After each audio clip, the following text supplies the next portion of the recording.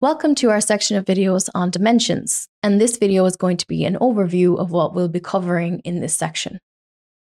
So go to your Applications dropdown, click on Reports, hit the Setup tab, and you'll see your dimensions here. You will not see entities because entities live within the company module. We have mentioned previously that dimensions are a way to slice and dice your data for reporting purposes so that you can have just a natural GL account, but use your dimensions to do coding on your transactions so that you can pull reports based on the dimensions that you're coding to. So we will have in this section a video on each different dimension and how to get them set up in the system. We'll also have a video on dimension groups and dimension structures, which is just a way to group up your data for reporting purposes. And you may not necessarily need to use every dimension that we have in the system. We typically see every client use customers, employees, vendors, projects. We see all of our construction clients using cost codes and cost types. Departments is a very powerful dimension that you may want to use if you want to do approval routing or if you want to be able to restrict users by department.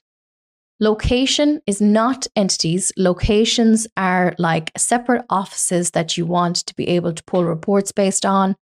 But those locations are all going to file taxes under the one tax ID, which is going to be your entity. Warehouses you won't see unless you're subscribed to the inventory module. And then items you're going to be forced to use in the system if you are using purchasing, order entry, or inventory because those modules use items to link to your GL accounts.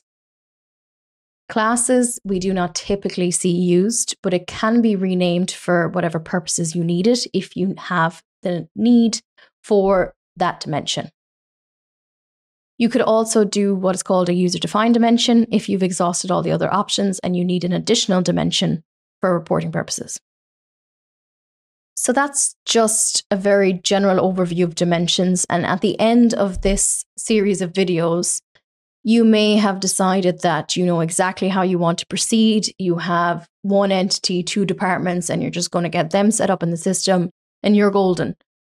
If you've come to the end of this series and you still have additional questions, then we have an optional one to one meeting with one of our consultants in which you can ask questions and gain better clarity on how to proceed with setting up your dimensions for your specific needs.